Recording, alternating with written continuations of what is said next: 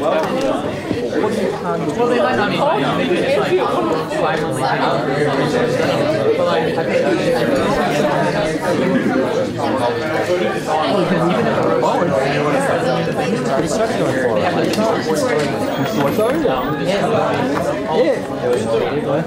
All right, so we're not that many today.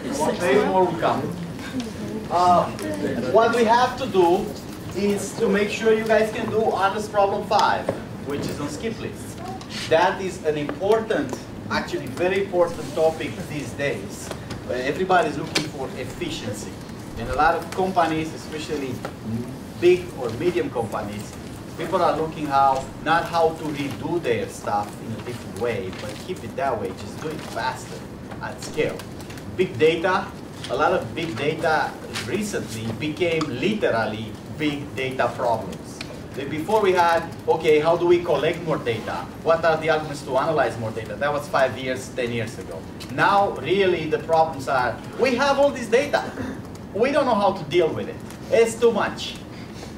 Every single small companies and big companies I've seen or talked to or uh, you know, consult for, my students went through, have this problem. We know in principle what we want to do. Uh, we have the algorithm, the plan, but it doesn't run. A lot of our students get funding, PhD students, simply because they could implement other people's algorithm on their data and make them run. We had at least three PhD students who got funding from biology, epidemiology, and economics. Well, these people knew what they want to do, but their SAS or R implementations of their algorithms just didn't run. So our students re-implemented Java and got funding for a year for that purpose. So big data is literally big. So skip lists attack that problem. It says, look, you can do something better here than a binary search tree. So you have Armstrong 4, which is sorting with a binary search tree. By the way, not everybody submitted that. I'm hoping that some people still working on it, kind of, in terms of eating a lot of turkey, they submit that problem, right? I'll take them late if I have to, but you have to do demos. There's the implementation part. Those points you cannot get until you show it to a TA. TAs will announce some hours, uh, probably not this week, but weekend and the week after when you can demo your code for, for problems four and five. So that's skip list. We gotta do that. But then we have to finish the regular material of the class, which is graphs. We don't have a clear mandate how far into graphs we need to go. So we'll go as far as we can. We have this lecture and the next Tuesday as lectures. And then um, uh, I'll have to, we'll have to discuss a little bit about BFS and DFS today because it's something in the homework, so make sure we do those. Okay, so skip list first. What do we have here? It's a linked list, right? That happens to have all the values already in order. And we, we talked about this when we introduced binary search trees. Uh, this would be a good list to have, uh, but I have to maintain it in order, right? To, to use it for sorting and to organize data with it, I have to keep it in order. So now, what's the good thing about uh, a linked list? Is that insertions and deletion is very simple, right? It's if, if I know where I want to insert an element, I break that link, I put element in there, and I, if I want to insert another square here, I delete this and I say, make it this and that, and now I've inserted that element in there, easy peasy. Problem with lists, like we discussed at the insertion sort, is that you can't really do it fast, find the position, because lists don't have a structure to allow you to find where you want to put this element. You have to go from the beginning and check. You know, when you search in a linked list, you start from the top and you say, my value is 75. I, I don't have a way like with arrays, binary search, to get immediately or, or very fast log n time in that spot. With binary search in a list, I have to start from the top and keep going, right? Everybody's with me here? So how did we introduce the binary search trees? Well, we said we like the linked lists. In fact, some of you implemented binary search trees with pointers, like a list. But we like a faster way to get to that spot. In a linked list, getting to the spot really needs traversal from the beginning. So that's what we want to do. Our purpose is still the same like in binary search trees here. But we, we go, we're going to organize this list a little bit. So what we're going to do, we're going to independently for each element flip a coin. And if we see heads, promote it. So let me start in here, skip list. There is this P is the promotion or head probability. Let's say it's one half, but it doesn't have to be one half. We can do this process with one fourth or one third or two thirds. But this, this P is fixed. What this means is for every particular box, the probability to have another box, so the probability of an upper box given the lower box is this p-value. So every time I see the lower box, the bottom list contains all the elements. That's just regular list. So for each one of them, I say, say this 34, I flip my coin. If I see heads, I put another 34 here. that means I flip the coin here, I see heads, I put now here. Now that I'm here, I flip the coin again. And I say for this 34 here, do I, do I promote it again? Right? So let's say I don't promote that one again, but I promote 50 twice. Uh, let's try to organize this nice. So let's divide it here, one here.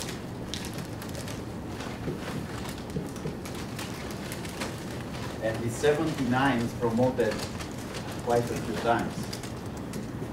79, 79, one more time, 79. The 14 is also promoted.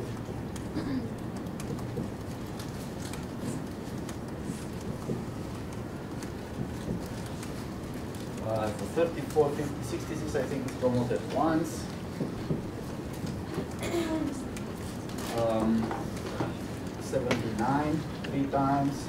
Then we have 96 promoted once. We have 110 promoted twice.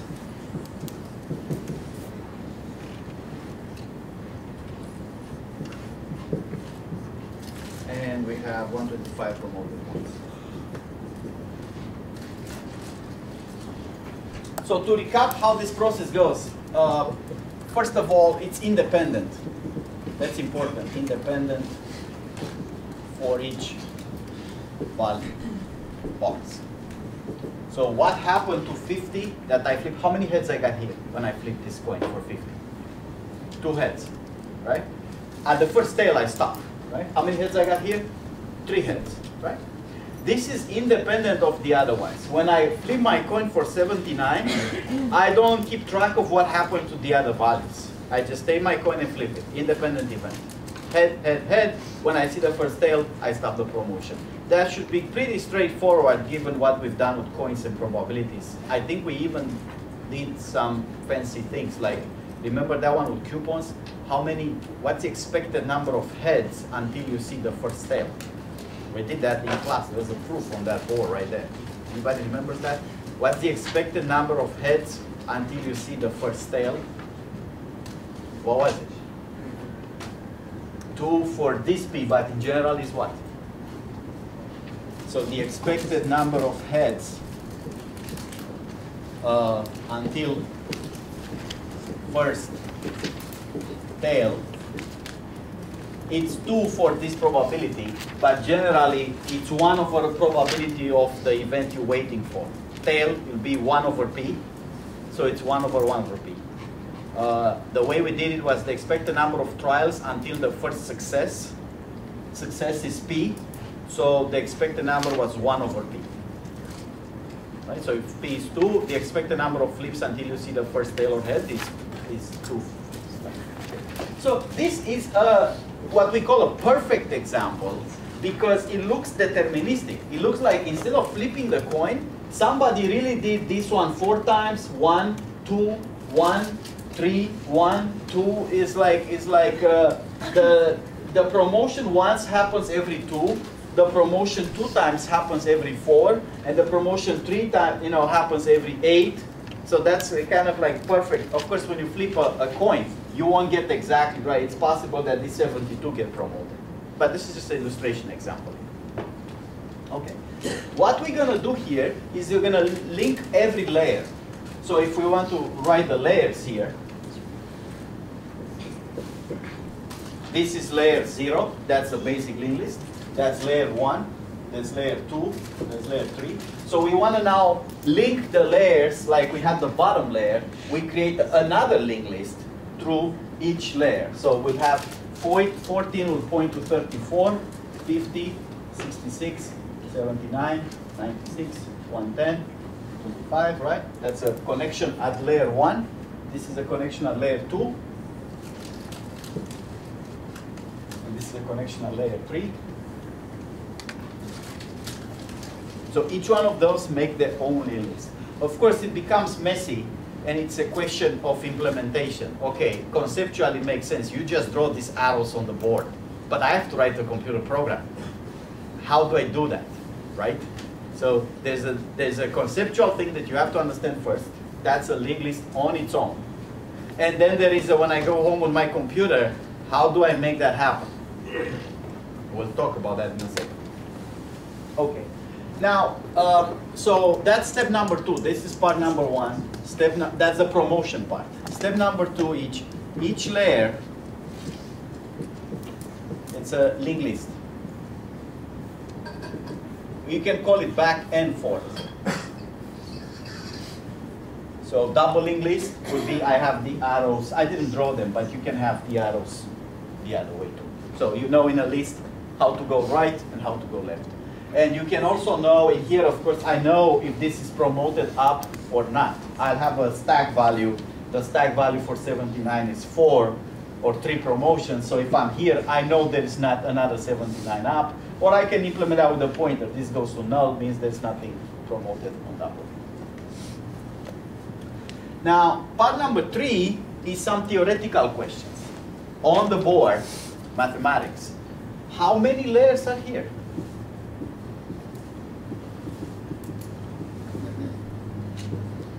Like if I do this literally with the coin, I have n elements.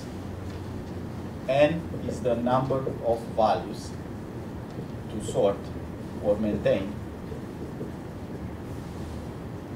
Uh, so n is the kind of the input size here. How many levels are this I'm going to have? So we already did this. If I fix a value and I run the promotions, right? Uh, what's the expected number of layers? Two. But I don't have one value. I have n values. Right? If, if I ask you for one time, what's the expected number of hits you're going to get when you flip 79?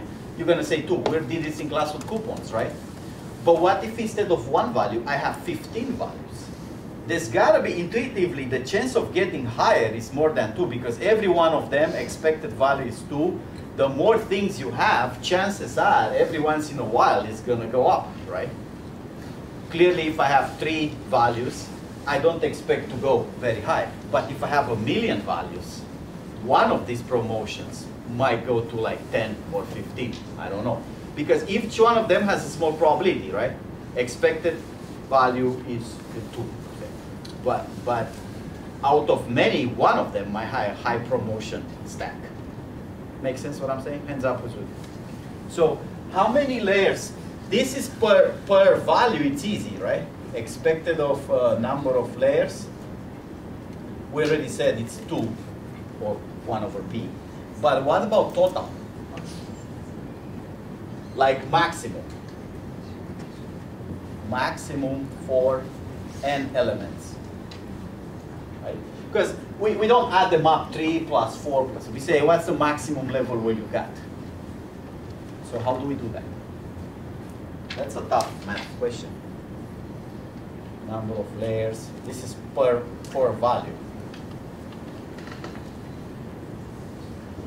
We don't know how to solve that question yet. Maybe we need to bound it, like in algorithms. We say, well, we can't tell you exact, but we can tell you that it's about asymptotically something, right? We, we don't want to put an exact math value, but for, for computer science, when you do these kind of things, you don't need always the exact, mathematically it's interesting to know what's the exact number of layers, and expectation. But for a computer scientist to write a program says, if you promise me it's like asymptotic, say linear, that's good enough for me. I know my, my number of layers won't be more than n, or, or something like constant times n. So the answer to this will be asymptotically log n. And whoever proves this gets a cookie. that on expectation, when n goes to say big, a million, a trillion, a gazillion, how many, clearly this slowly gonna have more layers. Eventually one of these stacks gonna get higher, right? Well, how high is gonna go? Like, I don't wanna go to that proof necessarily today, but you have to think of a binary search tree. Remember what happened to the binary search tree? When I add elements to the tree, assuming the tree gets balanced. If I add n elements in the tree, what's the depth of the tree? Log n. That's the same thing happens here because this is effectively a binary search tree. That's what it is. It's just drawing differently. Think about how am I going to look for this element 72? If you if I give you this structure, how you look for this guy? You have the whole control, you implement it, you go, go back and forth everywhere, you know all the stacks, you know who's who, but you don't have array. What, what arrays have that links will never have? Index and direct access to indexes. In arrays, you can say, go to element 5, 7, 11, whatever you want. In lists, you cannot do that. You can so go up, down, left, right, if you have that element in there, but you can't so go to the fifth element. That's not possible in a list. So arrays have that direct access, lists don't have it. So how would you look for 72? How would we do that? If we have this structure. We start at the top list, right? And we say, compared to 14 and 79, where is 72? It's in between those two, right? So go down at 14. So I'm searching for 72. At 14 here, I check 14 and 79, both of them and then I say, go down, right? Now, I'm in between 14 and 50, what do I do? Go right. 50 and 72, go down. Now I'm at 50, I already know it's not less than 50, right? So now I'm 50, 66, what do I do? Go, go right, because 66 is smaller than 72, right? And now 66, 79, go down, and now I'm in the bottom list. In the bottom list, I always go right until I find the value. So if you think a little bit how happened in the binary search tree, right? I mean, we can redraw the whole thing with the binary search tree. At every point in the binary search tree, I went roughly, uh, I went always left or right. So it, if you compare to, to analogy versus BST, in, in every move in BST that goes left,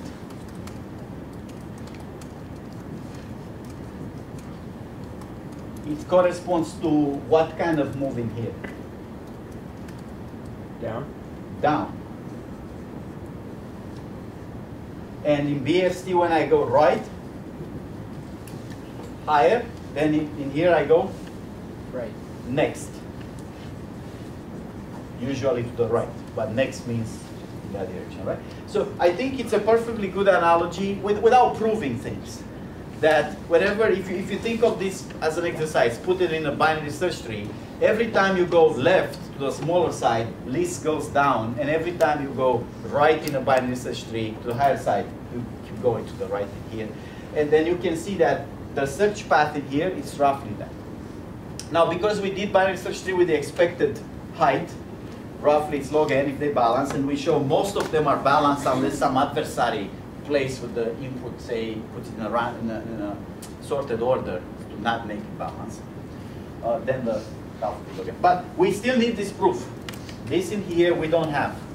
We did at coupons problem this proof. Expected number of trials until you get your first success is that, but we didn't do this. So this might require some trick there. that's the math. We may have some more questions of math later. Uh, so that's the search. How about the insertion and deletion? When I delete something, how is that going to work? Say I want to get rid of the 66. How do I do that? Is it a fast operation or slow operation? Fast. I have to get rid of 66 from both lists. Can I just link the links through the next after the 66? Is that, is that going to work? Like if I say delete 66, delete this, delete this, and make the pointers go to the next one. Would that be okay? I think it is. We will need some verification, some proof that that's okay, but if the intuition is that I can just delete it from all the lists and I'm done. How about the insertion? Say I want to insert 75 in here. How do I do the insertion? So let's write that down, deletion. Just the intuition. Delete the whole stack. Remake links. What insertion? So this in here is the search. How would insertion work? If I throw in a 75, first I have to search for it, right? Would search give me the right location where to put it? If I search for a value, like in a binary search tree, when I search for a value that's not in the tree, what happens? I get exactly to the spot where I'm supposed to put it, right? That's exactly what's going to happen here. If I search for 75, the search path is going to be the same up to here. I'm going to go over 72. And here I'm going to determine insert 75. So if I want to put insert 75, I do a search for 75, and I've got to this spot, like with the same path I got to here, that will be where 75 needs to go. And now, how do I literally place 75 in? And create a stack. What, how do I do it? Once I determine 75, it's in this spot. The bottom list is just a regular list, right? I can put 75, make the links, right? So 75 in is just a normal link list. But how about the stack? How do I manage that? So once I place 75 in here, I can remake the pointers here to, to make the links work correctly. 72 will be now, I break this link. So 72 will go to 75. This will go here like that, make a list. And then if I, I get my coin here, right? I throw the coin once, if I see a head, I do what? Insert 75 in this list, right? If I see another head, I, I insert 75 in this list. And when I see a tail, I stop. Is that, is that an easy process or how, many times am I expected to flip this, this coin? Two times. I would say the whole thing is a constant operation overall in expectation. The insertion, it's remake two pointers, and then the flips are expected to be two of them. Of course, it could be a long stream of, of flips, but on expectation, it's a constant two. And then remaking every every pointer here, it's it's also a constant time operation, right? The part that takes more time is this, right? log n. This, the search, how to find the spot for 75 will take some time, but inserting 75 is like in a binary search tree. It's a constant time operation. Hands up who's with me so far. Questions? I, know this is difficult to swallow. And uh, there's a difference between a picture and a nice story, which it's easy, versus an actual, okay, go home, study, do the math, implement. It's a step in there. That's why this is honors and not regular stuff. Now, the search. That's the biggest theorem.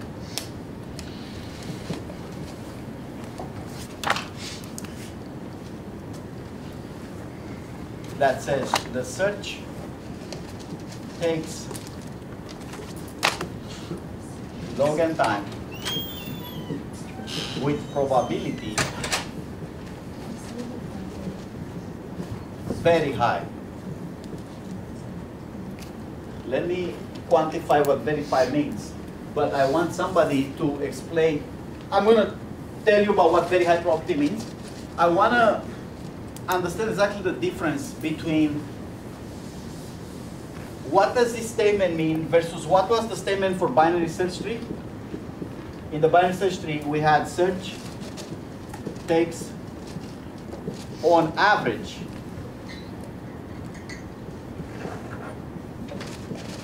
log n, right? This is skip list. This is the binary search tree. So this was saying expected of the runtime for search is asymptotically log n. This one says with very high probability all searches takes that. So which statement is stronger? If I have this, it implies that, or if I have this, it implies that. Which one is the strongest statement? By high probability, I mean astronomically high probability. Like 99.99999 of the searches will take that time. So which one is the stronger statement here?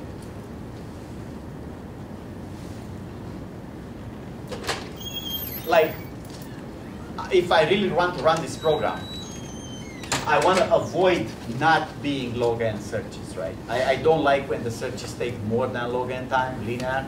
Which one will be more likely to give me some linear searches, the binary search tree or the skip list? That's what I'm asking effectively. Yes. I think the binary search tree. Will, will give me more non-logarithmic searches? Yes. Right.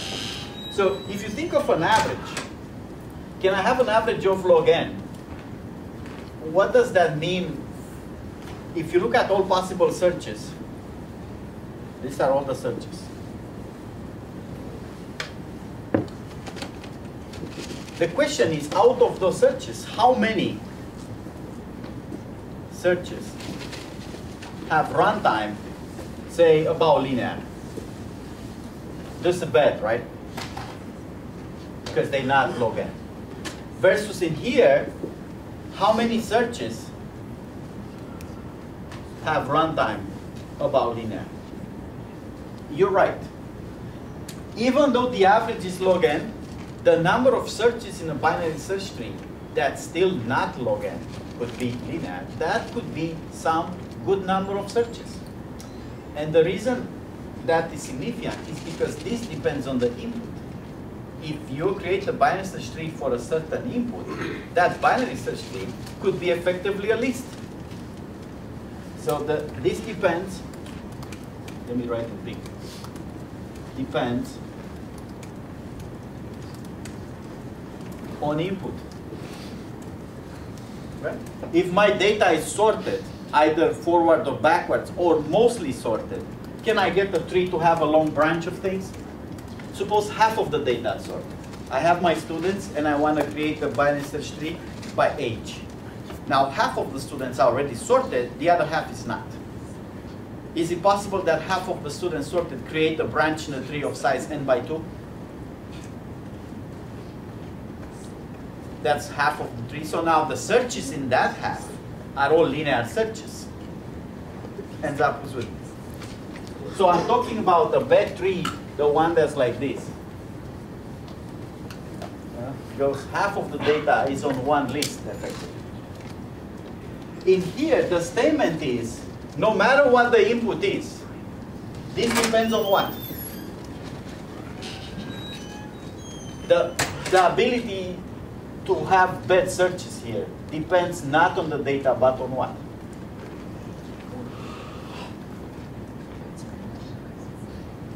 So what will determine that I have some bad search? Stacks depend on what? The coin flips. Is it possible to get a long stack here and no stacks for the others? So I'll end, up having just the bottom list effectively for most of the data?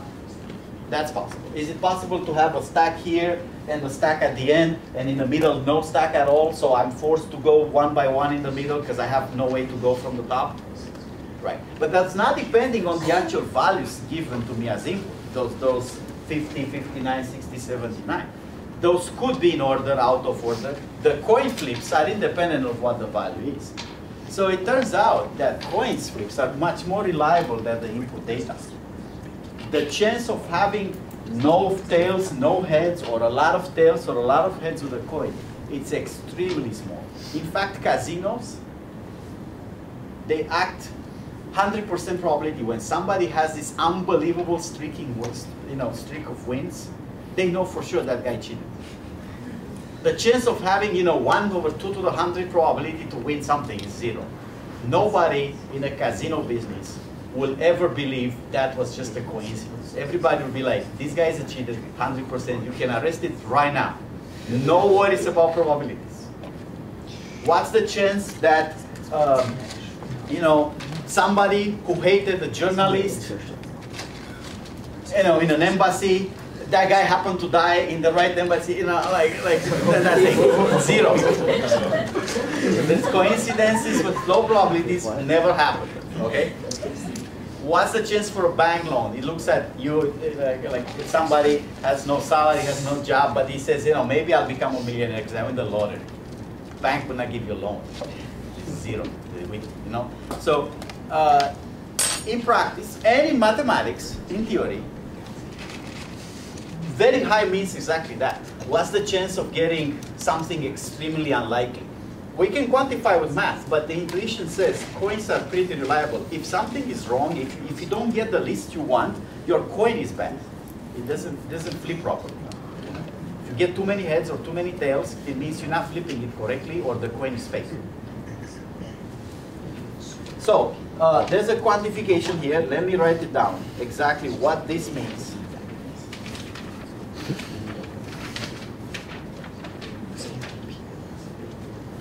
Probability of search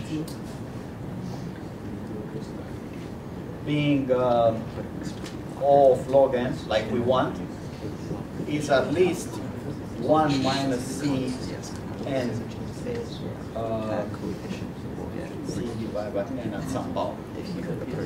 So it turns out I can increase this power. Once n goes to infinity, I can make this n to the 2, 3, 4, 5, any power I want. So imagine if this is n to the 10, when n goes to like 100,000. How much is 100,000 at power 10? That's 10 to the 50. That's exactly 1, right? If, if this denominator here is 10 to the 50, this value is extremely close to 1. So that means the probability of having all the searches that I want, even for a data that's not so big, I'm talking 100,000 items, that's not a big data anymore, right? It's going to be effectively 1. That's why this is more reliable than this. It does not depend on the input. And those properties are astronomically high. This would be 99, 99999 with 59 until you get something that's not a 9. Did you say C was some constant? C is a constant that depends on the alpha. But nevertheless, this, if you plot it, it's going to be a function that gets very close to 1 for any practical purpose. I don't think anybody ever run a skip list with a, with the correct coin and not got something good. Like, you know, what's the chance of getting with even 100 elements, some sequence of 50 values with no stack? Yes. Alpha is uh, our choice. Alpha, alpha is a choice. Uh, C is a function of alpha. So there's some math details that I don't want to get into because they are complicated, require more knowledge of properties that we have. But you can easily get the intuition that this value is so close to 1 that it's effectively a guarantee that's going to work. Like I said, those problems in reality, when people see them that they you know, do not happen, they automatically assume something is off. The probability is so small that person who won every day at the casino must be a cheater somehow, must have found a way to cheat. Okay, so now, uh, one of the questions in the skip list for whoever read the problem, the honest problem, it's an optional question, so you don't have to do that one for the credit, is to explain this proof. The proof is given, but you have to explain every step of it. How did we prove this? How did we prove this? So on and so forth. So as an optional question that does not require, you don't have to submit it if you don't want to, is to go over this proof and explain why search is that with very high probability. Now, how about the implementation? I think everybody understood how the search, insert, and delete. We only have three functions here, search, insert, delete. And to print it in order, you just read the bottom list in order. There's no, no, no complication there. How can we implement this? Obviously, we can do pointers, right? So option number one is pointers. We have this massive object that has what? Has a value, like 66. Has a stack value, one promotion. If you count this as layer zero, that's one, right? It has a next at layer zero, next is um, 72 but it may have next at layer 1 because it has a promotion of size 1 so 66 also has a next at 79 without the 75 there and uh, you may have previous at layer 1 that is who? At layer 1 who's the previous? 50 and previous at layer 0, who's that?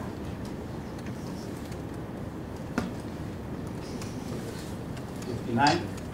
So whoever does this with object will have an easy time because you can define an object and that object you put next, last, an array, a vector, whatever you need to put in there. We won't grade how elegant your code is, so you know if, if you make it work, that's, that's good enough. Now, suppose I don't know pointers, I don't know Java, I don't know C, I don't know anything. Uh, what do I do? Can I do this with a massive array? For binary search trees, we could do it with array, but in this case, that array will have to become a matrix. So my matrix will be called next, and will be exactly, here the indices, 1, 2, 3, 4, 5, 6, 7, 8, 9, 10, 11, 12, 13, 14, 15. And here's the layers, 0, 1, 2, 3. So if I want to say next for element uh, 3 at layer 0, next for element 3 at layer 0, I keep track of indexes here in an array notation. So what index is the next index for index 3 at layer 0? 4. What index is at 3 and layer 1? What's the next index here? 5. But who's, I can have a previous matrix. Who's the previous of, say, uh, index 9 at layer 2? Index 9, 1, 2, previous, what the index is there? 5. Those are indexes. And then I can have an array of values. That's a simple array, right? The value of 9 is 79. I may have to have a, a, a, structure to keep the stack, you know, that could be either an array up. I think the easiest way is to do it with a stack value. Stack value of array uh, at 11 is 1. Stack at 10 is 0, because it's only 1. Stack at 13 is how much?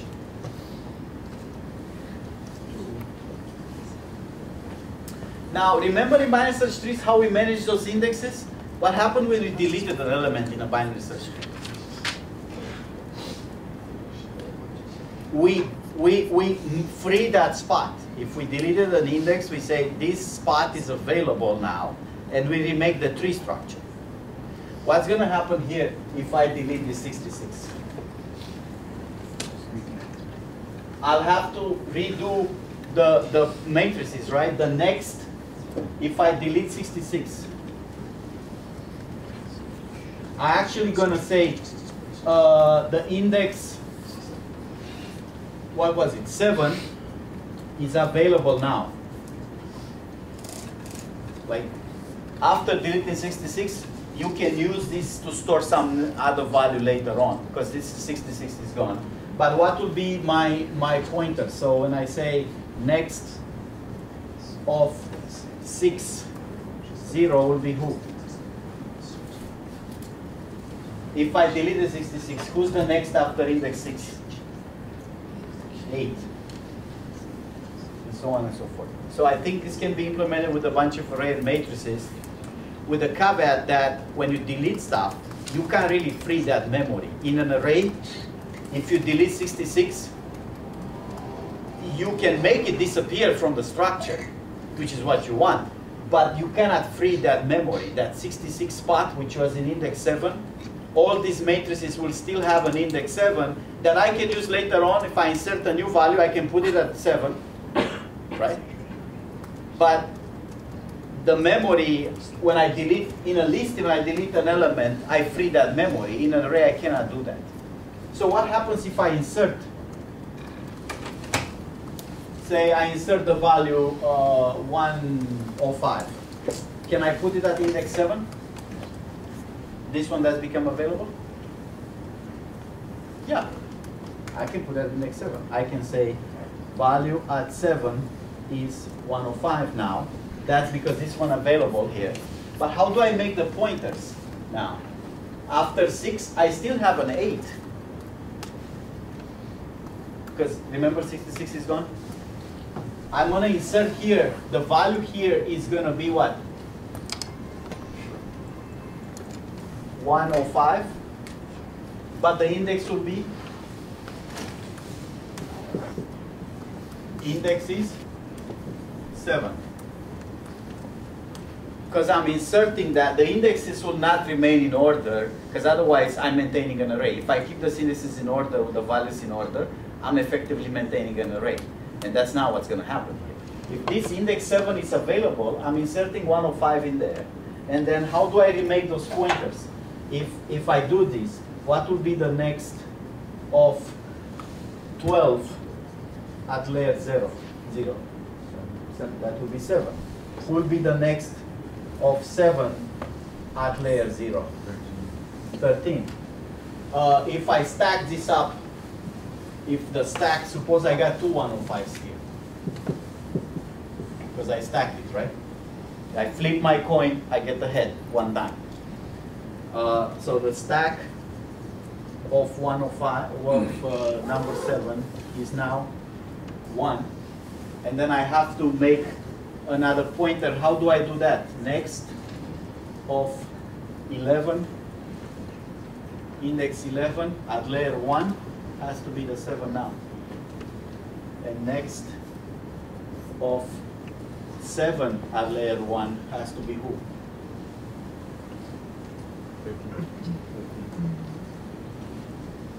So I think you can manage this this way if you don't want to do pointers. That's going to give you some headache over Thanksgiving, I think. But it's a good headache. Everybody has to go through those headaches. All right, so that's, that's the uh, skip list. Uh, I want you to implement it and to observe that works. Um, I, I, would, I would not require for the submission, but you know what would be really, really cool? To actually verify empirically the runtime. Create a list with a million of insertions and deletions and updates at random with the size of, say, 2,000 elements. Just do it millions and millions of operations, and measure the clock time, how long this thing takes, like literally in seconds. Um, but I do want you to remember um, two things here. Mathematically, the size of the stack, even though it's many elements in the list, the size of the stack is logarithmic, just like in a binary search tree. That's observation number one. Observation number two, it's different than the binary search tree. Search tree gives me an average that depends on the input. this gives me a vast, vast, vast majority of cases, not just the average, and does not depend on the input at all. It only depends on how my coin rolls. Uh, and a hint of the proof, assuming I have the math here. The way to think about this problem mathematically, the search. Remember, the only complicated thing is the search, because insertion deletion it's very easy, just mechanics. The search. How do I this this whole proof that you have to go over? Here's how I'm going to think. It's a pretty cool idea. I want to know how many steps it takes to find the 72 or the 75. They're in the same spot. Instead of that, this proof goes backwards. Instead of thinking, how did I get to the top, down or forward to 72, I'm going to think from 72, how do I go back to the top? And I'm going to say, this 72 or 75, either one. When did I move from the left? When did I get this way to it? And this is clearly a path here, right? This path has steps that go to the right next, or steps that go down. So if I look at the path backwards, I'm going to go sometimes to the left, sometimes up. So the first thing I'm going to say is how many times I go up maximum. That's the size of the maximum stack. Assuming these proofs work out, is log n. So any search will take log n steps to go up. That's easy, right? The next idea is super cool. It says, what happened when you went for the search, it had to do with how you flip that coin, whether you flip the coin to promote that element or not. We're going to simulate that process, but not from the top, but from the 72 back to the top. So we're going to say, you know what, I'm flipping a coin here, which is not the way I produce this list. I'm saying it's the same process. I flip a coin here. If my coin, if my head, my coin comes heads, I'm going up. If my my coin comes tail, I'm going left. And I'm saying that's a one-to-one -one map to how the search happened. Instead of flipping those coins for the promotions, I'm flipping the coins for the search back from the 72 down to the 14, up to the 14. Every time I get a tail, I go this way. Every time I get a head, I go up because any promotion I go up to the side and every tail I go to the left. So I'm thinking of this search as, you know what, I'm starting at post-mortem, I'm starting where I'm supposed to get at 72. And now I'm flipping the coin. If I go uh, tail, it's left, head is up. And I'm gonna recreate the path to 40. This kind of, uh, you know, Yes. Under that thinking, what happens if you flip heads to go up, but there's no more values to go up in that stack? Right. Uh, this, if by flipping the coins, you can't recreate exactly this path. Okay. What the theorem is saying is that by flipping the coins, you get ex an expectation the same number of ups and downs as you flipped it the other way. Okay. Because the probability of heads is independent of these events, so every every going up, it's effectively a head chance p. Okay that requires some, some thinking about. But let's assume for the moment, we can come back to that step. Let me tell you why these people think this way. Because they want to say, how many steps does it take to go up? Only the up steps. This step, this step, this step. That's maximum number of levels, which is log n. And then, if I have my coin, how many times do I need to flip this coin total, heads and tails, to get that many heads. So that's another proof that's needed here after this. If I want log n heads, it's like in the coupons, remember? How many steps until I get the first coupon, how many times until I get the second coupon, how many times I, until I get the third coupon. But this is much easier because every head will have to wait for the same number of steps. In coupons, once you get one, chances are that now it's, it's, it's fewer coupons to get. And here, it's the same.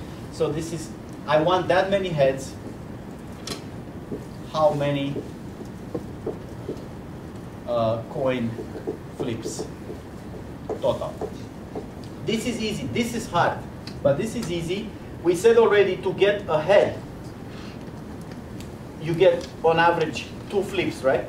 So to get that many heads, how many flips do I need? If this is not reducing the coupons, it'll be two times number of log n, which is the same, log n.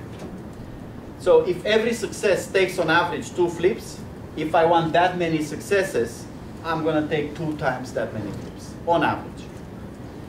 But this is requires a trick. Now back to the, you have a question about the first part. How is it that I can think of these coin flips backwards? No, I just had a general Is it, is a coin always the best thing to flip with? Yeah, it's an independent coin. You can choose the probability. The probability, if it's not a half, say it's a fourth or two thirds or something, will, will dictate, will balance a little bit how, how high you want the stacks versus how much linear search you do at the bottom. If you use a coin of very high probability, say eight uh, out of 10, the stacks will go higher because the chances are you're promoting more elements. But then the, the linear searches in a list will be very small. If you do one half, I think most people do one half or one fourth.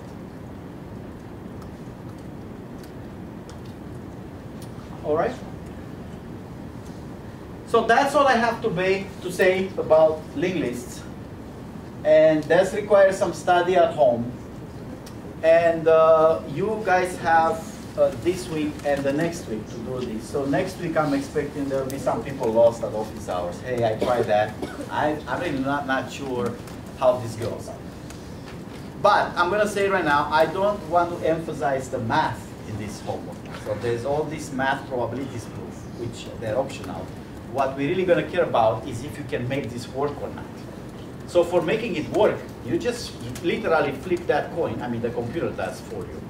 Uh, and you don't have to worry, oh my God, what if I get too many, too many, uh, a stack that's too big here. You don't have to worry about that because there's a math proof that says you can get, you know, flipping a fair coin, there's no way to get that many stacks. If you see this stack going to like size 100, you did something wrong. You flipped the coin incorrectly.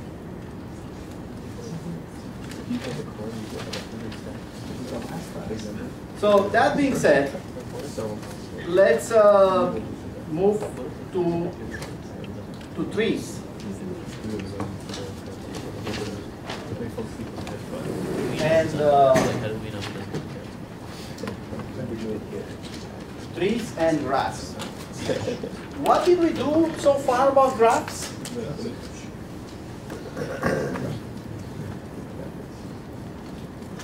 We talk about directed versus undirected. Remember? We talk about paths. And so that is directed is when edges have direction. Undirected means when edges don't have direction. I can go both ways.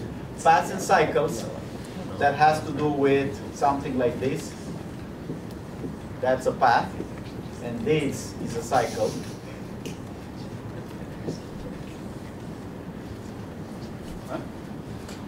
We talked about, um, did we say complement?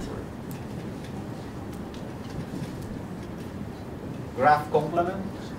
By the way, when I say G, I mean graph. Everybody does that. You say G, it means a graph. Or G equal VE, that's the vertices and those are the edges set. So here's what the complement means. Same vertices, flip the edges.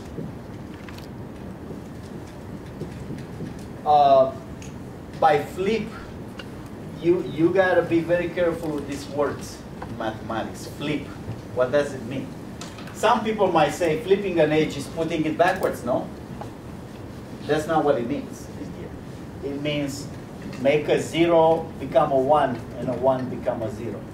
So if I have this graph here, say four nodes,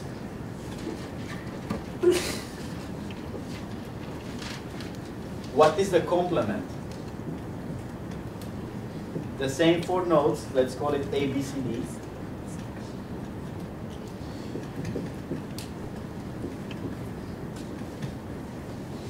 But the edges that were in the original graph are missing here. And the edges that were not in the original graph are here. So AB was there, so it's not here. BC was there, so it's not here. DC was there, it's not here. What edges are here? AB. Yeah. Is that it?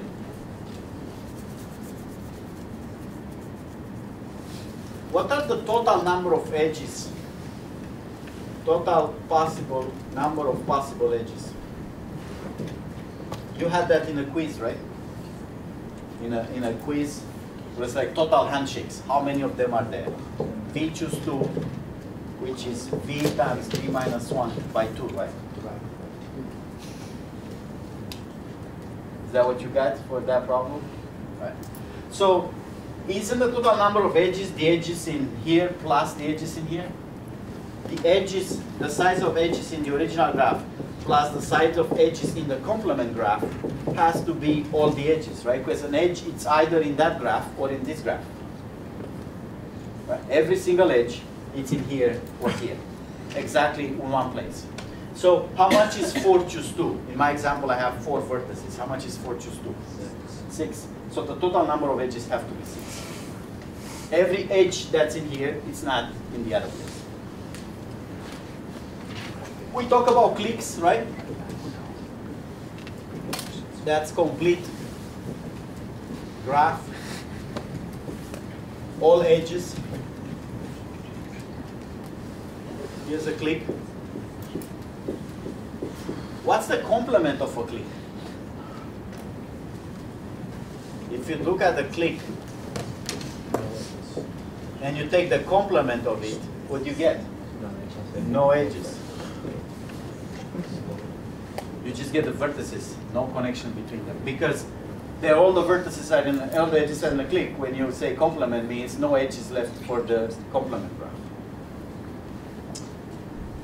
Um, we talk a little bit about trees. Let me recap that. Trees. What trees have to do? They have to be connected. Graphs can be disconnected. Right? Is this a connected graph? Is this a connected graph? No. B is disconnected from the rest. Um, trees have to be connected. If you have not connected trees, you got a forest because there's multiple of them. And what else they have to have? No cycles. And they can have optional, they can have a root. The rooted trees, when a node is designated as root, and unrooted trees, where you can have a graph connected with those cycles, but nobody named a root yet. Okay? Uh, many interesting problems are circulated by emails about trees for the final exam. Everybody throws in trees. I, I didn't, I did, I'm not guilty of that. I didn't throw any trees in yet. Just a lot of emails flowing around. How about this tree problem? How about this tree problem? How about this tree? It would do that. It's interesting because it's induction and counting and probabilities in one. Uh, nice. That's vehiculated for the final exam. I'm not guilty of anything. I'm just doing counting, as I said. Right? Um, here's another special kind of graphs. Acyclic means what? No cycles. Oh. They'll just get killed in algebra. Uh, and directed. Acyclic, acyclic, uh, directed graph. So this this co- this thing, it's called in one word DAG. Those are extremely important in many applications, uh, both for graphs and for A- AI and data science. Uh, for mathematics and computer science, DAGs are much easier to handle than regular graphs in terms of procedures, whatever you want to do with them. Sort them, rearrange them, insert, delete, uh, organize things. And there is a process that takes a graph and breaks it into DAGs. So whatever you want to do with a graph, maybe you do it on DAGs first and then deal with it, how to expand it to the whole graph. But, but DAGs are, are easier to, to model. So here's how they look like. There's, um, is there a difference between DAG and trees? Acyclic, directed, and uh, no cycles connected. Is that roughly the same thing? So here's how I can have um, a DAG that's not effectively a tree. I know this is directed and trees are undirected. Because if, if I have a root, that becomes directed because from the root down. But if I have a no root, usually it's undirected. So here's what can happen in a DAG. In a DAG, I may have this kind of situation.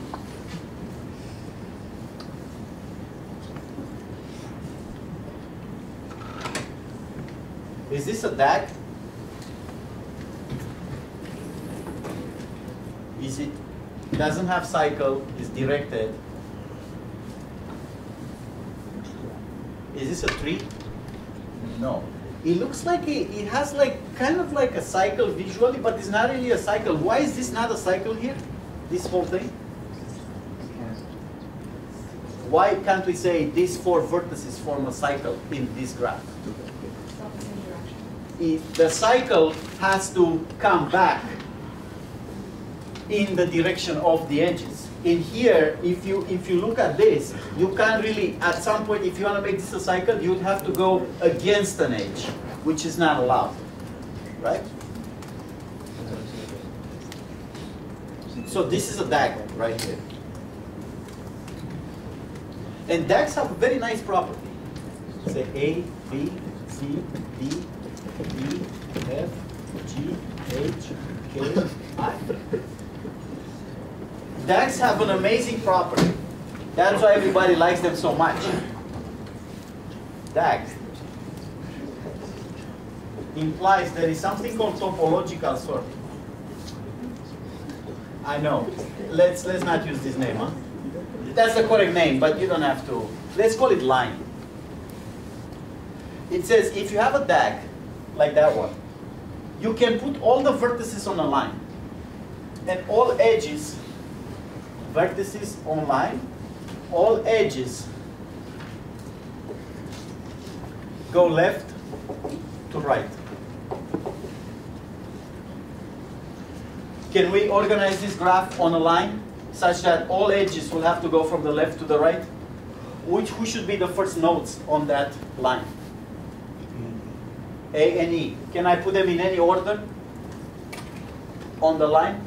He said A and E have to go first because the edges, there's no edge to A and E, but the edge is from A and E. But between A and E, can I put them in any order I want on the line? Yeah. Let's say E first, then A, then who else needs to go on that line? Call it, call it this like zero, because they, they don't have any edges. Who needs to go on the line next? B, C, who else? F. Doesn't matter what order do I have in there, in this group? No. Unless there's, an edge in between them, right? Currently between B, C, F, G, there's no edge, so I can put them this way. But what if there is an edge from uh, G to C? Is that still a DAG? Did I just create the cycle here?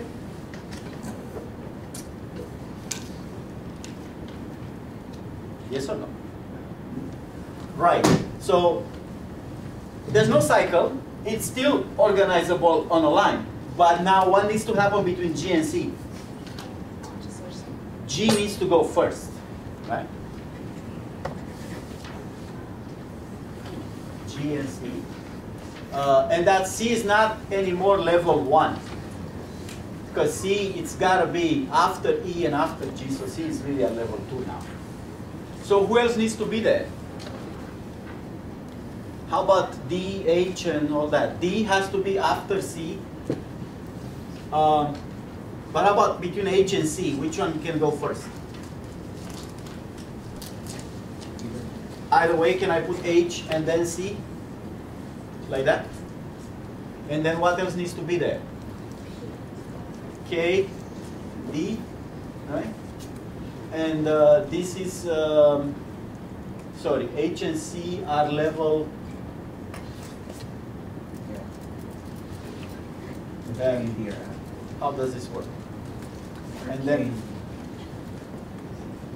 K and D. H is here. H has to be before K and D. Right? And the last one is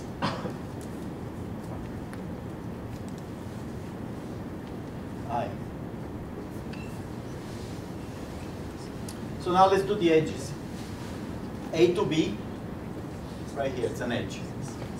A to C. Uh, B to D.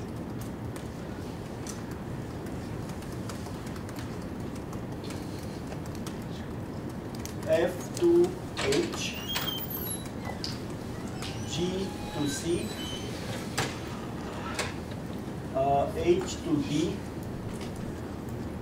H to K. C to D. Does K has anything? K to Y. And D to Y. So I'm going to leave this a little bit for you to think about. If I want to organize it this way, what are the groups? How can I determine some clear groups on the on this axis? Again, the order is not fixed. I could permute some of them and still get them right. Remember the constraint, all the arrows have to be from left to right. Um, is it necessary, like when you're defining the layers, like zero, one, that you pick, that you place it into the, the layer that's the shortest path to get to it? Or are there other ways of doing it? That's my question for you Okay. guys. How do you organize those layers? I want to tell you that there are some layers and the way to think about it is that the shortest one. So like this C, right? C is reachable from A in one step Mhm. and from uh, E in two steps. My question specifically is C should be in the first group or second group. Okay. If I'm to put groups, I think everybody understands that this can be put on a line and uh, all the edges have to go left to right. But what about those groups? If I want to determine some groups, group zero, group one, group two. Clearly group zero is the one that has no edges coming in. And the last group is the nodes that have no. Who's in the last group? No edges going out. Because if you're in the last group, you can have edges going somewhere. That, that would be the last group. Okay, so those are very important graphs because algorithms work much faster on those graphs, DAGs. And a lot of the graphs, regular graphs, can be broken into in various ways that there's approximation with DAGs for those. Now, can I do this with a regular graph? I take a regular graph, G. Can I just do topological sort?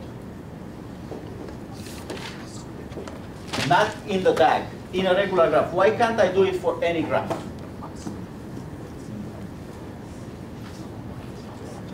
Why is this not possible? If there is cycles, why is it not possible with cycles? Yes. There's a cycle that at some point when you go back to somewhere you've been previously, just to the left. Right. You can have in a cycle all the edges to the right. At some point, you have to go back to where you started. So that means eventually in the cycle, there's got to be an edge back left, right? Because there is an edge back, right, left. Okay. So that's a big graph.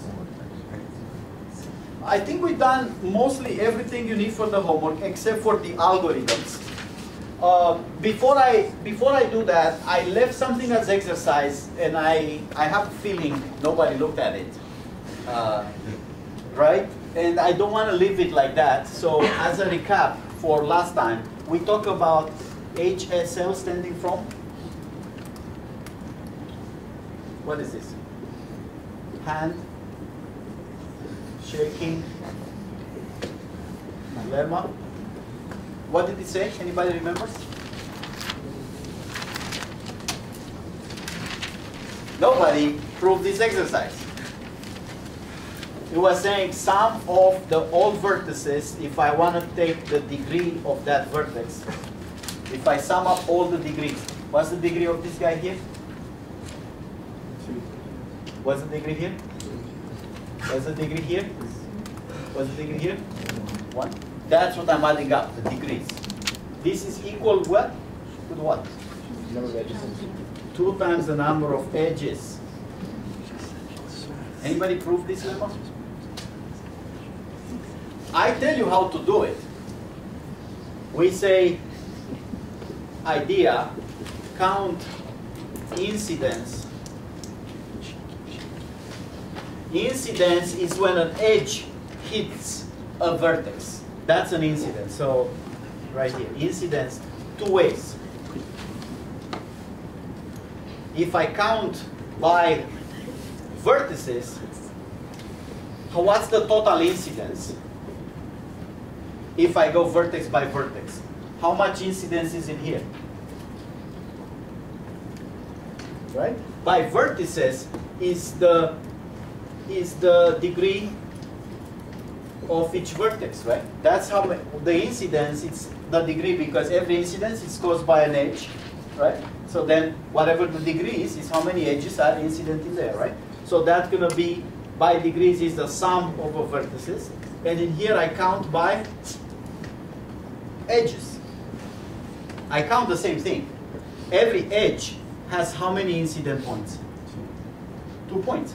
So it's the number of edges times two incidents each. If you go like vertices, every vertex have a bunch of incident points that corresponds to the degree. So I sum those degrees, I get the total. I'm counting total incidents. If I go by the edges, I count for each edge how many incident points? Two. So that's 2e, that's the sum of degrees. It's counting the same quantity, the number of these dots, in two different ways. How about a proof of this lemma by induction?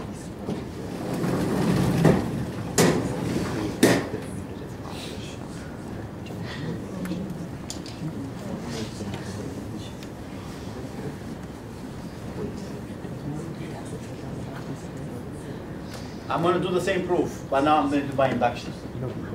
I've got the graph of V uh, and E. Right? The induction is going to be from a set E to a set E plus another edge. So this is says I'm adding an edge to the graph. So I had this graph before with a bunch of edges in, in them, right? Something. And I'm saying if it worked for this graph, for this graph I have sum over degree of vertices is two times the number of edges. The induction step is from E edges, I'm adding an edge. So if this is, you know, UV, I'm adding this edge, that's the new edge. So how is it going to work by induction? I'm going to say, I want to prove now in my new graph, which is the old graph plus one edge, that this still works. So in the new graph, there is an additional edge. It's the old graph plus edge UV. That's the new edge. So now in here, I do the sum of the degrees of all vertices. I already know the sum. So I, I know this worked before adding edge UV. Now I want to prove it with edge UV in. Um, this is what I want here. I want the sum to be two times the edge, the old edge set is the old set with with edge UV in there. It's supposed to be in parentheses because it's a pair. So now I'm saying that's what I want, but I'm relating my new customers to the old customers. This is the sum of all the degrees for all vertices except U and V plus the degree of U plus the degree of V. I'm taking those terms out the sum. And this on the right side is 2e plus 2, because the new edge added 1 times 2 is 2, right? Now I break this degree of u into the old degree of u before this edge plus 1, right? Because this degree, if you look at the degree here, the incident are the same incident points like before. This is the new incident point. Let me, let me do it nice. So this in here and this in here are the old ones. This is the new one. So it's the old degree plus one. And this one here is the old degree for V plus one.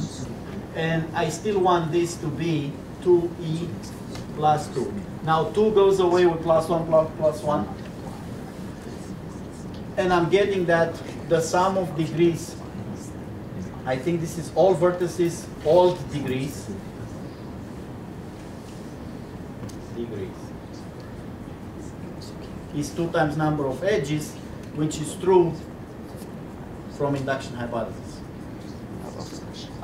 This essentially says this was what worked before in this graph. Before adding the edge of V, you had this property. Hands up with me.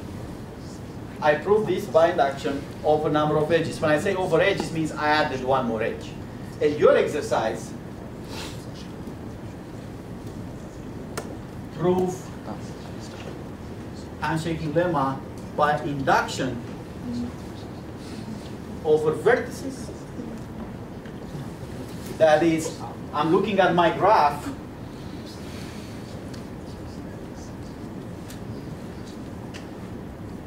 and I'm adding a vertex. The new part is a vertex here that has some edges. So I'm adding a vertex with a bunch of edges. Show that if the handshaking lemma was was was true before for the other graph, this node with all the edges, it's true now for the new node with its edges and everything that comes with it.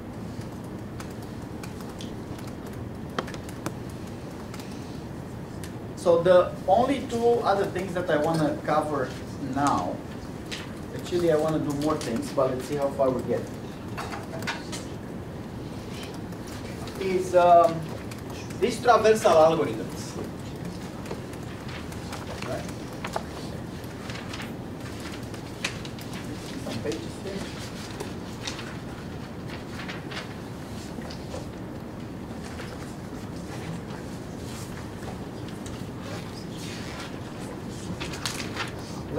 Uh, think about that.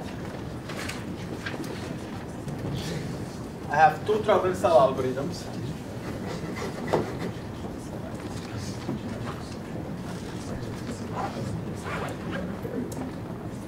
Here's a graph. Another one.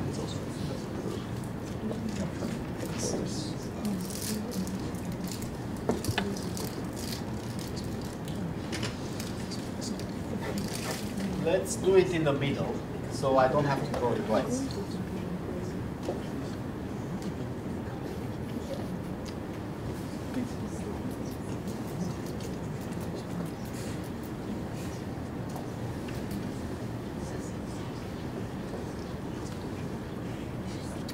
A, B, C, D, E, F,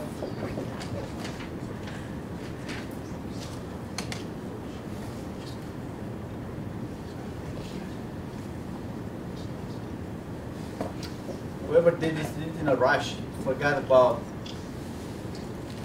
uh, G in here. There is no G in this graph. That's okay, it's just a naming, you know. But uh, clearly, you write it too fast, skip the G, you know. Uh, BFS. So I start in A.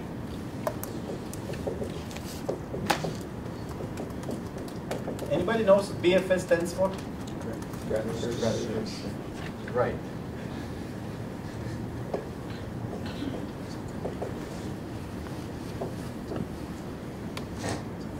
Uh, some people call it a timid.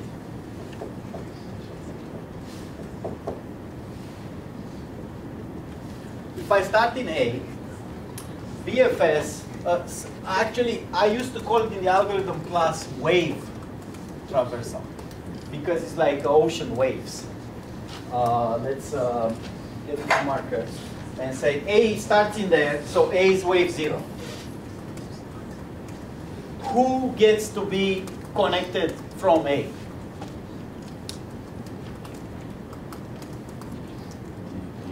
So A is the starting point, it's at level zero. Who's at level one? B and D, right? B and D, because they are reachable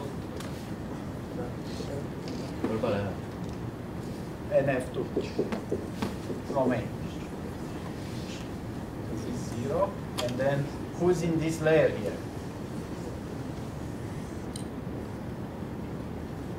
This is level, level one, so this is uh, one, one, one.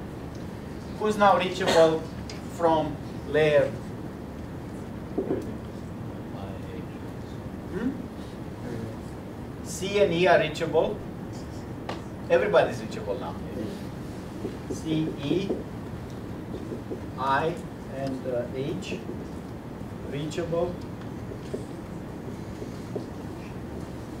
from previous layer, previous wave.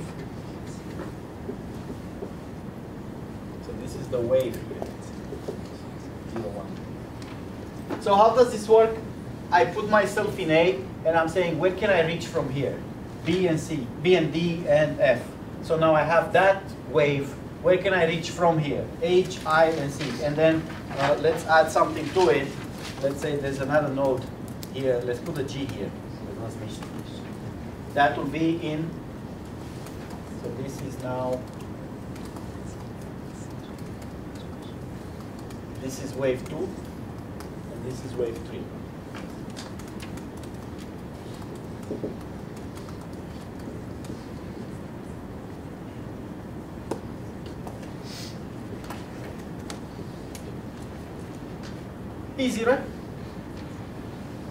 I, I count, I really want you to think when you hear BFS of these waves. What can I reach? Zero is where I start. What can I reach in one step? What can I reach in two steps? But not in one, see, that's critical. This H is reachable in two steps, it's in wave two, but it's not reachable in one step. If H would be reachable in one step, it'd be in what wave? One, right? Um, so F is reachable in one step, but also reachable in three steps, right? Because I can go B, H, F. So F is in what wave? One or three? One. One. It's reachable in one step, is in wave one. How about DFS? This stands for what?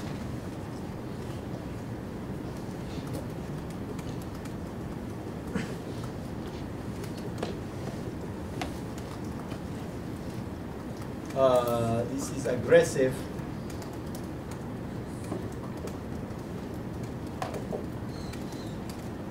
Um, depth first. So in here, I don't explore the whole wave. I'll, I'll, I'll go as far as I can in one direction first, right? So how do I do that? Um, if I want to do it here in this graph, I start at A, and then after A, who comes next? I have a choice of where to go from A. I can go to D, I can go to B, I can go to uh, F. Let's say I go to D first. Once I'm in D, in, in the BFS world, I'll have to complete the layer B, D, and F everywhere I can reach. In here, I don't pay attention to B and F until I finish D, right? I go as far as I can in one direction. So what will go next after D? So I have to think about like in a tree. From A, I go to D, right? And then I go to, where can I go from D? I can go to C, to E, or to I. Pick one at random. Say I go to E. Where else can I go from, from E? C. I stopped, right? You see, here, can I go anywhere else from C? No. So now I go back to E. So this is my first back step. So let's, let's count the steps here. This is step one, step two, step three. Now I go back at step four. I say, okay, uh, you finish this, you go back to E. Can, can you go anywhere else from E? So I already went to C. Where else can I go from E? Anywhere new. Can I go anywhere? No. So then uh, we go back to D, that's step five. And now from D, can I go anywhere else? Where? That's step six. And now from I, I can go to multiple places, right? Can I go somewhere new? I can go to F, right? From F, can I go somewhere new?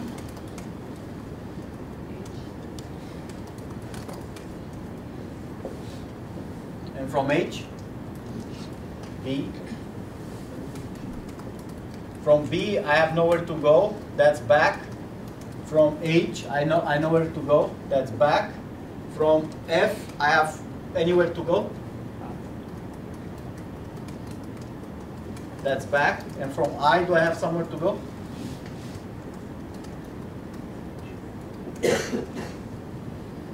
From G, I have somewhere to go? No, I go back. From I, I have anywhere else to explore. I've done, I've done F and G. I have nowhere to go.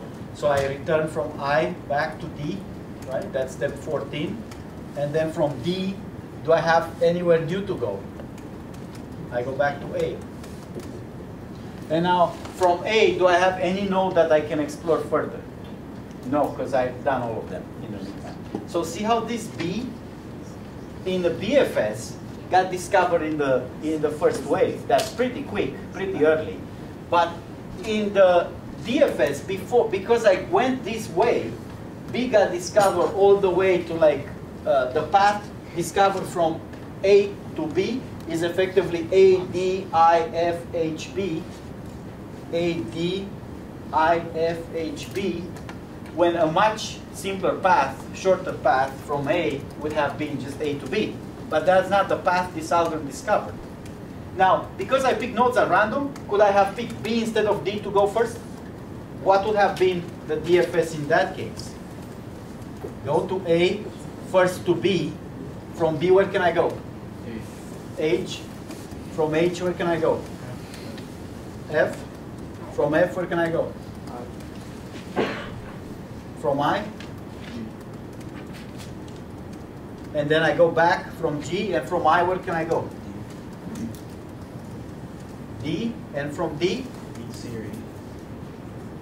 C, or E, right? I could have got this advancement in DFS if I started to B instead of D. And that's a random choice. So this is a valid DFS pass. This is also a valid DFS path. Because every time we pick a new node, we pick an at random. And we might easily be B or D, you know? We don't know. Um, so in this algorithm here, who's in what wave is deterministic, right? The order BDFS is B, BDF is not. But if I'm asking you how many steps it took from A to reach to C, can you look at this and say definitely two steps or not? If I'm asking how many steps does it take from A to reach to C? Is CC in the second wave, can you say it takes two steps for sure? But in here, if I say how many steps it takes from A to reach to say F or B, can you look at one of these years and say one, two, three, it takes three steps or five steps? No. That depending on how you went. If you go the other way, you might reach B right away. B is in like one step away from A, and here it's like six steps away from A. So it matters which way you can't really say B is that far away from A in DFS, because you can't have gone another way. So I have many interesting questions about this DFS. For example, if I really want the shortest path, I run any DFS we want. This one, this one, this one of them are random. I want to know what's the the shortest path, the east, the most reachable. Like see in BFS how nicely I get B is one step away and C is two steps away and that's guaranteed. Can you produce that out of DFS somehow? Can you modify the DFS to say, I know B is one step away, not six steps away? That's a question I ask my master students. How do you modify DFS so that at the end, you know how far B is? Another question that I have, that's not that hard, is, is this always a tree? This is what's being produced here by advancement to the new node. Is that always a tree? I'm not counting the back steps, just the forward steps. Is that a tree? Always? As a name. There's a DFS tree. It has BFS has a tree too. Is there a BFS tree? What is that? A goes to where? B, D, and F. And from B, where else can we go? How about H? Is that which can I put uh, F and D go to H together? That would that be correct? That would be correct as connectivity, but not correct in BFS. In BFS, whoever goes first, that one gets to go to the next one. So if B got first then F, because this is random order here in this column. If B is first, then B goes to H and not F. By the time F observes this edge, H is already discovered. So where can I go from D? C. Yeah, and? E. And from F? I.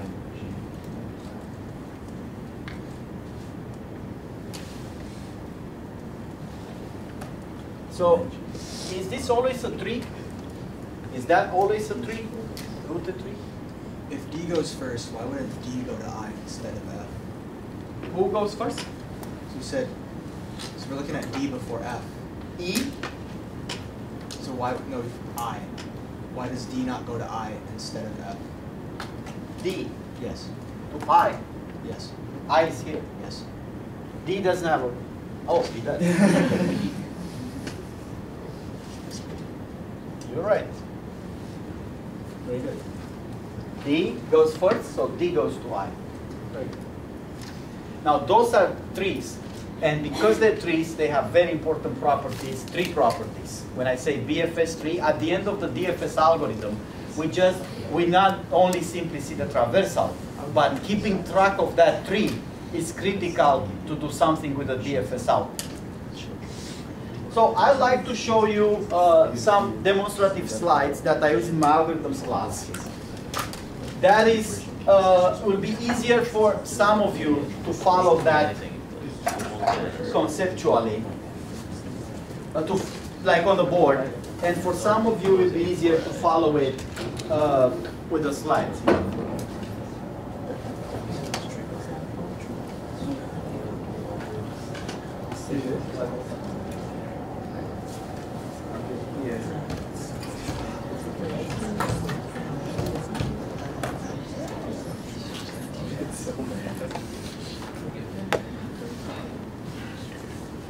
Turn off some lights.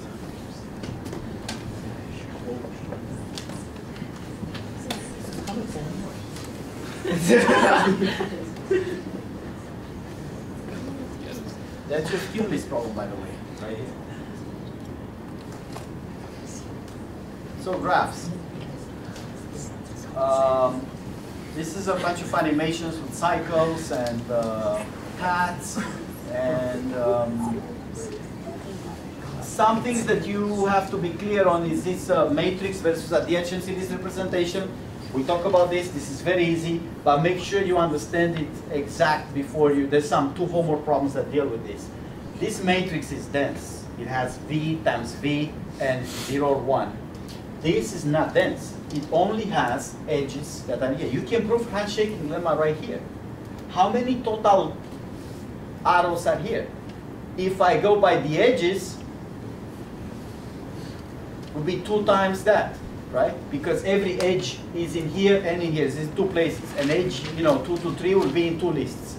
And if I go by vertices, I get the degrees. Every list is how many connections are, so that's the degree. So if I sum up all the uh, arrows by rows, I get the degrees, and by columns, I get the edges. So that's another proof for handshaking lemma. Path cycles. The one, one I want to show you is this BFS animation. If I can make it work. So that's another graph. Um, this one is directed. You can apply those algorithms in directed and undirected graphs. Remember, in directed graphs, an edge exists only in that direction. You can't go the other way. So BFS starts, I'm, I'm thinking in terms of waves. Literally, I look at the ocean and I see the waves. So that's wave zero. When can I reach from there? That's wave one, right? When can I reach from there? That's wave two. And that's wave three where I reach until the end, right? So that way I know for sure this node D here, it's in wave two, is reachable in two steps, but not in one. Because if it be one, it would be the previous wave.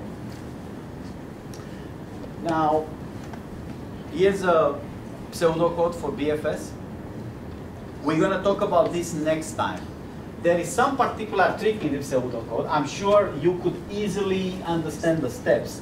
The difficult part is this. What is this? dequeue. What does that mean? And enqueue. So I'm sure everybody could, could understand immediately what this means right now. That's exactly what we talked to the board, how do you traverse, navigate the graph. But enqueue and dequeue are complicated things. We didn't do those at all. We'll have to do them next time. queues, how do you uh, use the queue data structure. I want to show an animation for DFS. And I want to emphasize, DFS is much more complicated than it looks. The reason for this complication is one, the fact that depending where I go changes the entire DFS tree. If I choose that node, I get one traversal. If I choose a different node, I get a completely different traversal. But the only way to understand DFS correctly is to mark those times, those steps that I mark on the edges, step one, advance to that node. Step three, go back to the previous node. To do those, we're gonna mark those start and finishing times. And we're gonna do a little coloring here. Coloring means initially all nodes are not discovered. They're all white. As soon as I reach a node, I still have this thing in here? I don't know if you guys can see it. When I reach a node, it's great. I discover stuff from it. The moment I return from that node, I mark it black, like finished. I discover everything I could. So I start at A, and I do, starting here, what do I say there? It's step one. I started A. What do I do then? I go, I choose, from A I could have gone where? D, B, and F in this graph, right? So I say I go to D. From D, what can I do? I can go to, so I mark those starting steps. At step three, I discovered E, and when I discover a node, I mark it gray. The reason I mark them gray is to know later on if it's a white node needs to be discovered or not, because I may end up with an edge back to a gray node, and I need to know is that a new node or not. White means not discovered, gray means I'm in the process of discovering it, black means I'm done. so now I'm finishing that because there's no place to go from E, and I mark the finishing time 4. 4 is when I decided E is done, so that it's colorblind. Hands up who's with me. Now, if I finish 4, where do I go? To D. D is still in the process, is the parent of E in the tree, in the DFS tree, and it's a process of being done. But from D I can go to F, right? F it's marked as starting at, this counter always increases by one, right? Step five, I discovered F. From F, can I go anywhere? So what am I gonna do now? Done F, and then I go back to D, and what happens at D? I'm done, I have nowhere to go, and then I go where? I go at A, but at A I'm not done. A is still gray, because A is still in the process of being discovered. I do eight, I go to B, and then from B can I go somewhere? I only go to white nodes, because that's are the DFS tree advancements to the white nodes. Now G is nine, 10 is done because nowhere to go, come back, 11, stop it. It's black. Now what happens now? Back to A, is A done? At time 12. Now, huh, did I finish? No, why not? There's some nodes left. But why is it that they're left? They're white. Why, why is that? They're not reachable from A. If you like, in, a, in an undirected sense, they are connected with A, right? Because there's some edges, but the edges are backwards. So I can't really reach from A to C. Those are the, by far the most problems. When the graph looks connected, but it's really not, right? You get the graph and say, um, why is it that DFS has to do multiple runs or three runs? How many, uh, imagine a DFS that starts from A, got stuck. How about one that starts from C? Would that get stuck? Can I reach everywhere from C? Can I? So if I run a DFS from C, I wouldn't get stuck. But with one from A, I do get stuck. So what happens here, I need to start another DFS. I start one, that's times 13, that's the next counter always increases by one. 14, 15, 16. Now there are multiple kind of edges in here. The edges that I used are the DFS tree edges. That was the advancement edges. This was an advancement edge from here to here. But there were other edges like this one that I didn't use for advancement. By the time I got to E, this edge was a back edge to A. So this back edge is a clear indication of a, let me roll it back.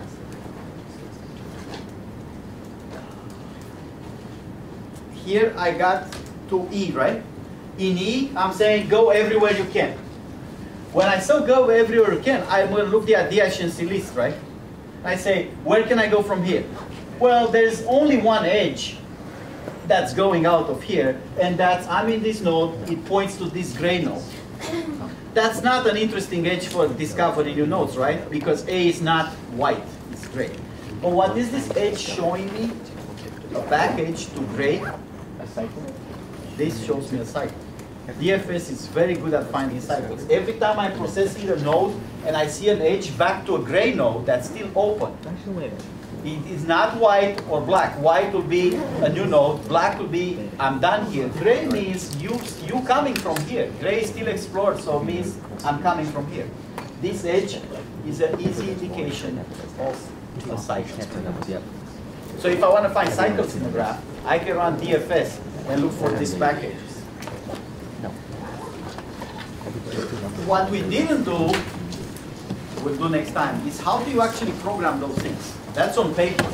But if I want to write a program for DFS or BFS, how do I do it? How do I connect You too. Uh, there's nothing this week, so I'll see you guys Tuesday. There's office hours. I'll be at 6 p.m. on office hours. I convince the government that it's legal for me to merge. Yes. Is it legal? Is it?